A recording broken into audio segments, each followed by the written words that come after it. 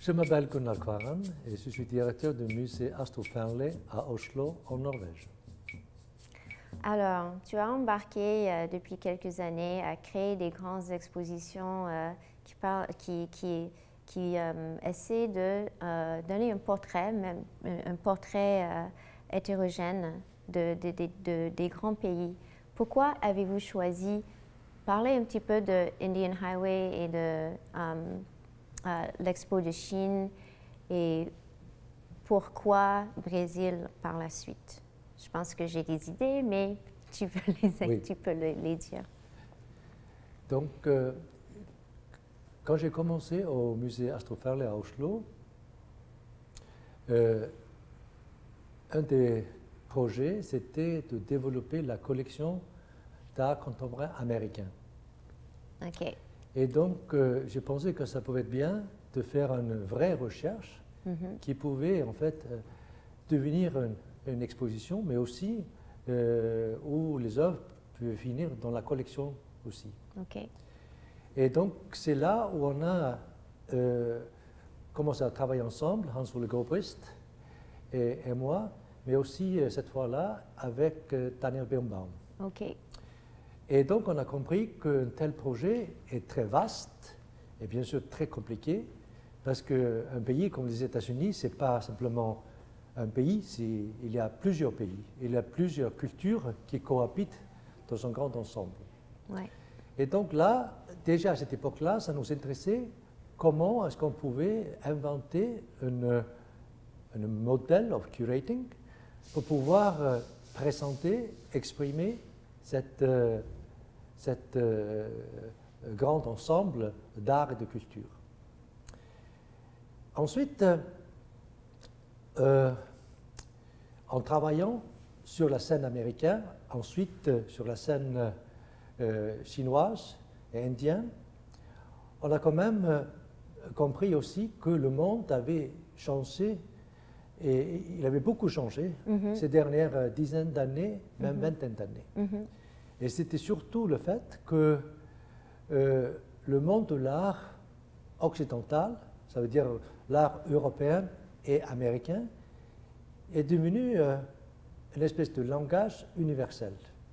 Donc euh, les pays comme la Chine, comme l'Inde et d'autres pays euh, extérieurs à, à l'Europe et aux États-Unis est en train de travailler avec les mêmes prémices que les artistes européens et américains. Donc, euh, pour nous, ça voulait dire deux, choses. C'est qu'il y avait les artistes extra-européens qui étaient en train de euh, et réinventer l'art euh, occidental. Mais en même temps, on était conscient que tous ces pays ou tous ces zones géographiques avaient leur euh, culture propre. Donc, il, il- il avait adopté certains langages, certaines formes, mais quand même, ces langages et ces formes étaient traversés par des cultures différentes, par les langages différents, et aussi toutes les autres choses qui font que euh, les hommes et les cultures sont différentes. La nourriture, les climats et toutes les conditions humaines. Donc le contexte, comme le contexte est différent, forcément, il y aura quelque chose de très, de très singulier, euh, mais de manière hétérogène euh, dans, dans les scènes artistiques de, de, de- différents pays. Mais moi, j'ai pensé que vous avez choisi Chine et l'Inde et, et maintenant Brésil parce que vous, vous vouliez aussi explorer euh, le, le- le fait que ça décentre le, le pouvoir euh, euh, en art contemporain qui était toujours très ancré dans les États-Unis et l'Europe. Comme ça commence à changer. Ben, les zones économiques de puissance, ça aussi commence à changer. Si on peut parler de BRIC, c'est c'est Brésil, c'est la Russie, c'est Chine et l'Inde. Alors ça me semblait tout à fait important et intéressant que vous avez choisi ces pays parce qu'il il s'agisse des, économies euh, importantes euh, en croissance euh, vitale qui aura aussi un effet sur le marché de l'art contemporain. Est-ce que j'ai tort ou est-ce qu'il y avait quelque chose là-dedans? Non, je pense que, tu as raison, en, partie, mais je pense que c'est plutôt les, choses parallèles. C'est-à-dire que, bien sûr, les, les, pays comme la Chine, comme l'Inde, et même le Brésil à l'époque, euh, c'était les pays émergents économiquement. Et donc, euh, c'était aussi les, pays de grande complexité et de grande richesse. Et donc, ces pays-là étaient intéressants pour nous parce qu'ils avaient tous ces ingrédients et tous les, les, qualités qui étaient intéressants pour nous à explorer. Euh, la Chine, bien sûr, avec euh, sa, sa, nouvelle situation où euh, ils ont fait cette nouvelle révolution artistique dans les années 80. Et ça faisait que 20 ans, 30 ans qu'ils étaient en train de s'intégrer dans, le langage et dans la culture picturale de l'Occident.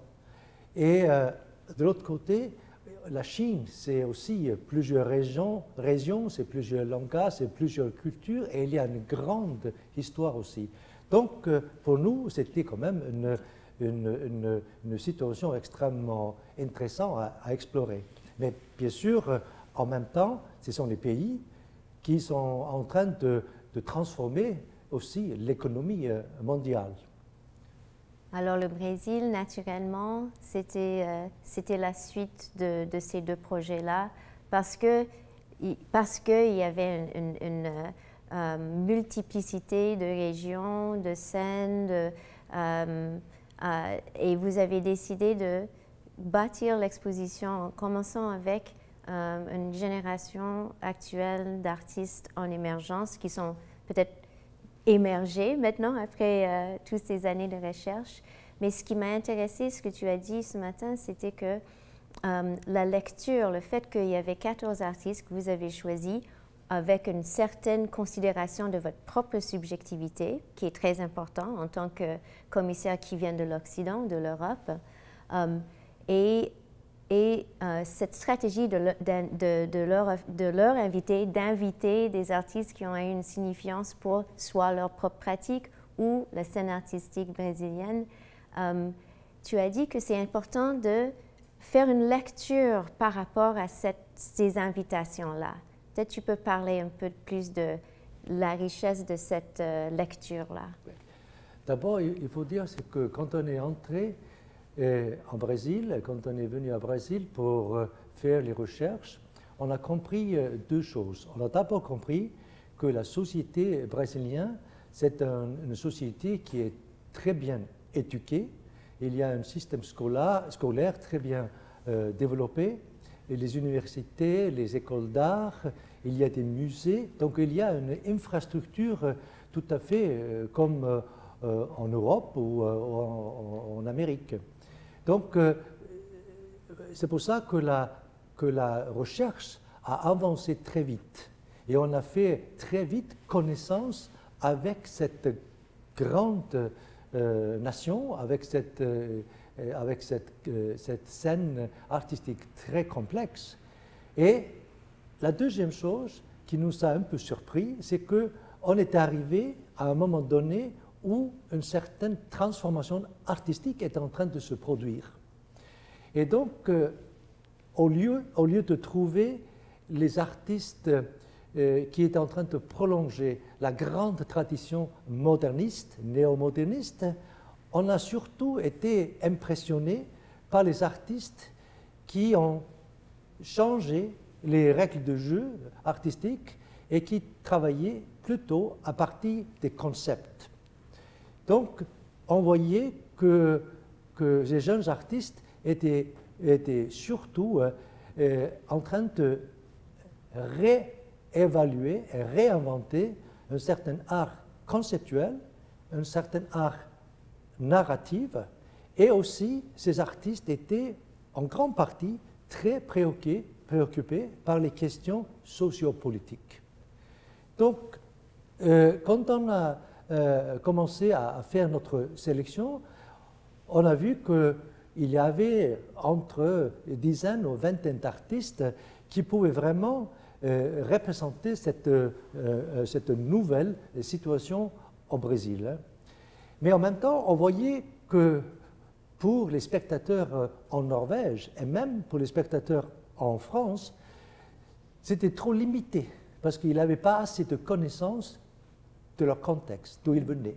Mm-hmm. Et c'est là où on s'est posé la question est-ce que nous, est-ce que nous devons choisir les artistes plus anciens pour compléter l'image ou euh, la présentation, ou peut-être est-ce qu'on devait demander aux artistes de nous suggérer les, les, les, artistes plus anciens, plus établis? Et c'est là qu'on a en fait choisi de, les inviter à nous euh, présenter les artistes de référence, les artistes qui ils pensaient euh, importants pour la nouvelle situation euh, artistique et aussi et surtout peut-être de quelle façon ces artistes avaient communiqué avec leur propre création. Et c'est là, en fait, qu'on a vraiment, sans le savoir, élargi et donné beaucoup plus de, de, sens à notre projet. Parce qu'en fait, tous les jeunes artistes, ils ont en fait fortifié, confirmé cette tendance qu'on voyait en train de se développer sur la scène artistique brésilienne. Et donc c'est là, on voit, par exemple, les artistes comme euh, euh, Paolo Nazareth, qui, est un des artistes euh, noirs en Brésil et, qui a beaucoup travaillé sur ses origines et, sur la notion d'esclavage et les rapports entre le Brésil et l'Afrique. Et lui, au lieu de choisir un artiste de la tradition artistique, il a cassé les références et il nous a introduit Borges, donc un artiste populaire hein, qui fait pas du tout euh, partie de cette euh, tradition ou de cet art brésilien officiel.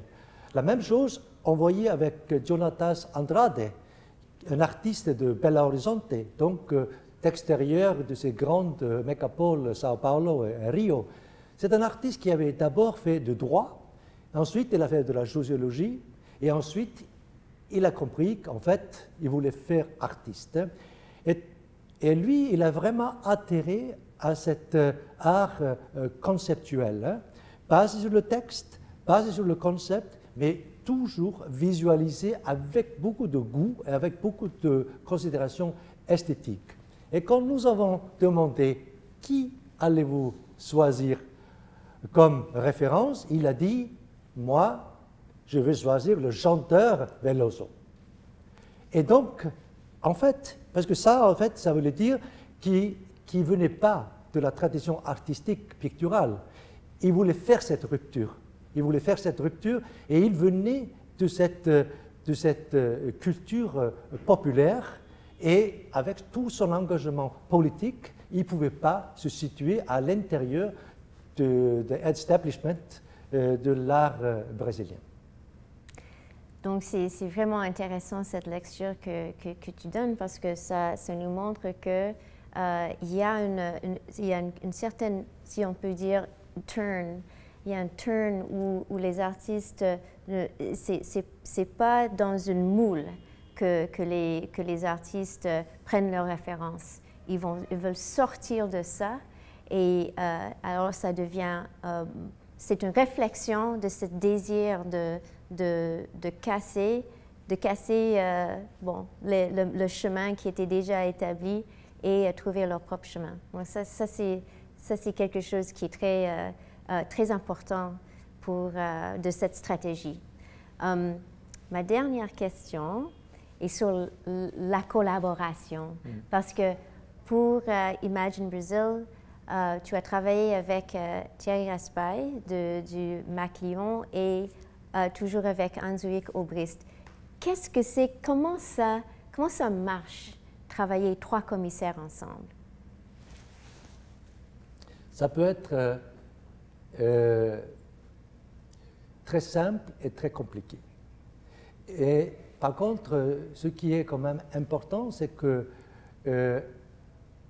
les commissaires comme Hans-Ole Gobrist et Thierry Raspail, ils ont beaucoup d'expérience. Ils ont d'abord beaucoup de connaissances sur l'art contemporain international. Ils ont déjà fait les plongées dans les pays comme la Chine, comme l'Inde, comme l'Europe, comme le Brésil depuis très longtemps. Mais c'est aussi et surtout euh, Hans-Ole Gobrist, euh, des commissaires qui ont fait une grande réflexion sur la notion de faire une exposition. Ça veut dire the notion of curating. Et quand on travaille avec les, avec les, avec les scènes artistiques aussi vastes, aussi complexes et, multiples, on ne peut pas euh, se limiter à une certaine forme traditionnelle de faire une exposition. Il faut vraiment que dans ce dialogue avec la scène, on peut en fait réinventer une façon de faire les expositions. Et donc, euh, l'exposition sur le Brésil a vraiment euh, euh, été un très bon exemple comment on a d'abord pu faire les recherches, sonder la situation générale, comprendre ce qui, ce qui est en train de se produire et ensuite pouvoir créer un modèle de curating qui était approprié à cette situation-là.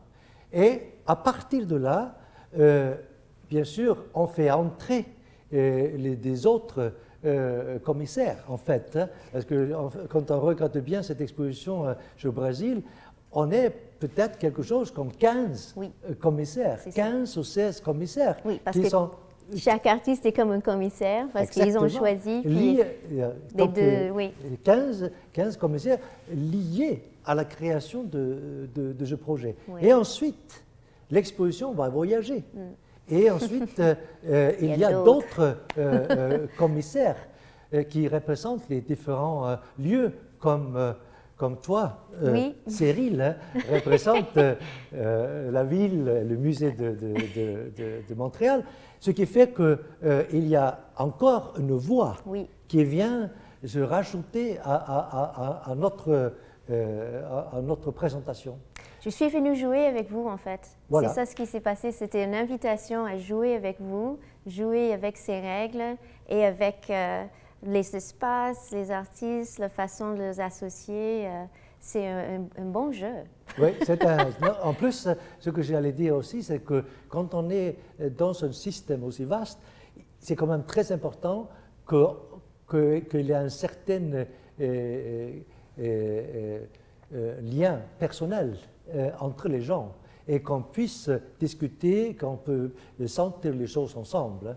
Et là, on a eu de la chance dans, tous, ces, tous, ces, lieux et dans toute cette complexité of curating, on a surtout eu des, gens très compétents, très intelligents, très créatifs pour toujours créer des situations qui prolongeaient ce que nous, on aurait pu espérer.